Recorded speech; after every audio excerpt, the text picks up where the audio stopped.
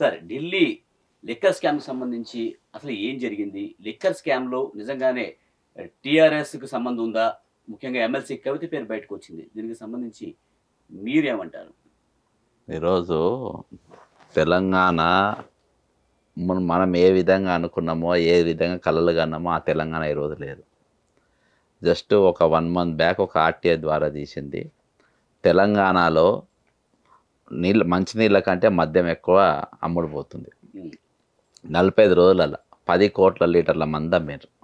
పది లక్షల మన ఈ ఫార్టీ ఫైవ్ డేస్లో. 45 డేస్ పది కోట్ల లీటర్ల మందం మీరు. మన జనాభా వచ్చి నాలుగు కోట్ల మంది. అంటే ప్రతి ఒక్కరు మంద అయినా నీళ్ళ కంటే మంద ఎక్కువ తాగిపించారు ప్రభుత్వం.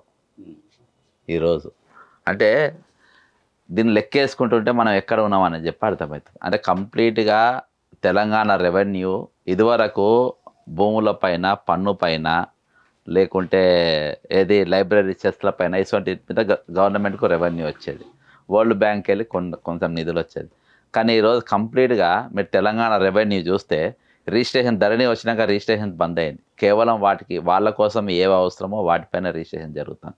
నెక్స్ట్ ట్రాఫిక్ చలాన్లు. ట్రాఫిక్ చలాన్లు ఇలా కానిస్టేబుల్ బండి వేసుకొని గలీలలో తిరిగి ఫోటోలు తీస్తున్నారు అంటే రెవెన్యూ వీటిపైన మన రెవెన్యూ వస్తుంది. మద్యము ట్రాఫికింగ్ పోలీ పోలీస్ ట్రాఫిక్.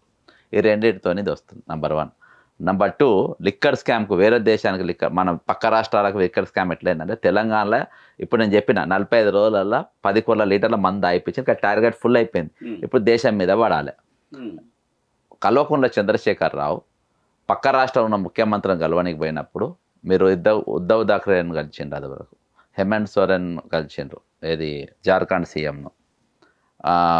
స్టాలిన్ను కలిసిండ్రు. ఇట్లా అన్ని రాష్ట్రాల ముఖ్యమంత్రిని కలుసుకుంటా కేజ్రీవాల్ని కూడా కలిసిండ్రు మమతా బెనర్జీ కూడా కలిసిండ్రు. ఆ ఎంబడి మీరు విజయాలు చూడండి. ఉద్దవ్ థాక్రే దగ్గర పక్కన ప్రకాష్ రాజు ఉంటాడు. సినిమా తన లాబింగ్ చేసిన పక్కన కల్వకుంట్ల కవిత ఉంటుంది వీళ్ళు పోయింది ఎందుకు అని అనుకుంటే అరే అంత సెక్యులర్ పార్టీలు అందరినీ ఐక్యం చేయడానికి బీజేపీ వ్యతిరేకంగా పనిచేస్తున్నారని అందరూ అనుకుంటారు. కానీ వాళ్ళు వెళ్ళింది వాళ్ళ హిడెన్ ఎజెండా ఏంటనంటే అక్కడ వీళ్ళ లిక్కర్ పాలసీని అక్కడ ఇంప్లిమెంట్ చేపియాలి వీళ్ళ మందును అక్కడ అమ్మాలి. వీళ్ళ డిస్టిలరీలో తయారయ్యేటటువంటి ఆల్కహాల్ను అక్కడ ఇంట్రడ్యూస్ చేయడానికి వెళ్ళిండ్రు. అంద అందరు ముఖ్యమంత్రులు వాళ్ళే ఒక ఇద్దరు పడ్డారు. ఒకటి కేజ్రీవాల్ సెకండ్ మమతా బెనర్జీ. మమతా బెనర్జీ పడ్డారు. అయితే వాళ్ళ ఫోకస్ అంతా అంటే మమతా బెనర్జీతో కొంత అడ్జస్ట్మెంట్స్ ఉన్నాయని చెప్పి అక్కడ ఎక్కువ ఫోకస్ పెట్టలే కానీ ఫుల్ ఫ్లెడ్జ్గా మాత్రము ఢిల్లీ పైన ఫోకస్ పెట్టింది ఏంటంటే అక్కడ అది వరకు వంద షాపులు ఉండేది. ఇది మొత్తం ఢిల్లీ పేరు ఢిల్లీ మీద. ఈరోజు ఎనిమిది వందల షాపులకు వచ్చింది అక్కడ. ప్రతి గల్లీకి ఒక షాప్ తయారైంది. ఇదివరకు eight to morning ten to evening eight వరకు అట్లా ఉండేది. ఇప్పుడు ఇప్పుడు ఎనీ టైం ఆడ లిక్కర్ సప్లై. ఇదివరకు టూ పర్సెంట్ కమిషన్ ఉండదు లిక్కర్ పైన. మ్మ్. ఈరోజు ట్వంటీ ఫైవ్ పర్సెంట్కి వెళ్ళి ట్వంటీ ఫైవ్ పర్సెంట్కి ఢిల్లీ దాకా కరిపోయింది అయితే నా ప్రశ్న ఇప్పుడు ట్వెల్వ్ పర్సెంట్కి వచ్చింది. ఏది? ఢిల్లీలో? టూ పర్సెంట్ ఉన్నది ట్వెల్వ్ పర్సెంట్ వచ్చింది. నేను లాస్ట్ వీక్ ఢిల్లీలో ఈడీని సిబిఐని విషయం మాట్లాడడానికి పోయినప్పుడు అలా నేను అబ్జర్వ్ చేసింది ఏంటంటే ఈ పర్సంటేజ్లో ఈ విధంగా షాపులు ఉన్నాయి ఇది పోయినాయి కేజ్రీవాల్ గారి గురువు వచ్చి అన్నా హజారే అసలు అన్నా హజారే గారు దీని గురించి ఎందుకు మాట్లాడతలేరు? రెండు వేల పద్నాలుగు వరకు బీజేపీ వచ్చేంత వరకు యాక్టివ్ ఉన్నాడు. లోక్పాల్ బిల్లు కోసం ఉద్యమం చేసినాడు. ఇంత పెద్ద స్కామ్లు అవుతున్నాయి. ఈరోజు నోరెందుకు తెలుస్తుంది? యాక్చువల్గా అన్నా కలవద్ది కనిపోయినా.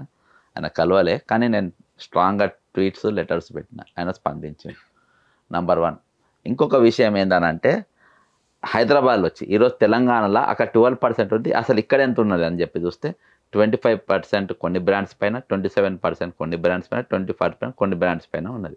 లి- ఏది? కమిషన్ అయితే ఢిల్లీలో ట్వెల్వ్ పర్సెంట్ ఉంటేనే సిబిఐ ఇన్వాల్వ్ అంత పెద్ద కేసులు పెట్టింది. మన మా తెలంగాణలో అబౌట్ ట్వంటీ పర్సెంట్ ఈరోజు లిక్కర్ పైన నడుస్తుంది. మరి దాని మీద సిబిఐ ఎంత కేసు పెడితే నేను కవిత మీద నేను పిటిషన్ పెట్టిన. ఏది? ఢిల్లీ సిబిఐకి. దీని మీద అది ఉన్న లైగర్ మూవీ ఈ రెండింటి పైన.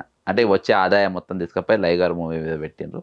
ఈ రెండింటి పైన మీరు ఎంక్వైరీ చేయాలని చెప్పేసి నేను ఒకటే కంప్లైంట్లో రెండు అంశాలు వాళ్ళ దృష్టికి తీసుకొని వెళ్ళిన.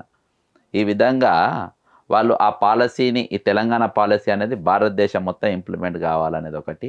ఇంకోటి వాళ్ళకి సాధ్యమైనంత వరకు ఎన్ని రాష్ట్రాలు అయితే అన్ని రాష్ట్రాల్లో పోవాలనే ఉద్దేశంతో వాళ్ళు ముందుకు వెళ్ళినారు అక్కడ జరిగిందంతా ఈమె హైదరాబాద్లో నా గురించి ఎవరు రా మాట్లాడొద్దని చెప్పి సిటీ సివిల్ కోర్టుకు పోయి ఒక ఆర్డర్ తెచ్చుకున్నది. కానీ ఈ రోజు ఒక్కటి బయటికి పోతే రాత్రి శ్రీనివాసరావును కూడా ఈడీని పెట్టింది అంటే నేను టూ ఇయర్స్కి వెళ్ళి కల్వకుంట్ల కవిత అక్రమ ఆస్తులు ఈమె అక్రమంగా సంపాదిస్తుంది. అని చెప్పి ఫోటోలో సహా ఆమె ఫామ్ హౌస్లు సర్వే నంబర్లు గవర్నర్ గారికి అందరికీ ముగ్గురు మీద ఇచ్చిన అయ్యా కొడుకు బిడ్డ ముగ్గురు మీద ఇచ్చిన. అవి ఇవ్వాలి గవర్నర్ గారికి కూడా. వన్ అవర్ నేను మా అడ్వకేట్ శరత్ కుమార్ గారి ఇద్దరం ఆమెతో హాఫ్ అన్ అవర్ మాట్లాడింది మాతో. మాట్లాడి అన్నీ తీసుకుంది. అయితే ఇవాళ ఒక్కొక్కటి వీళ్ళ దొంగతనాలని ఇప్పుడు బయటపడతా ఉన్నాయి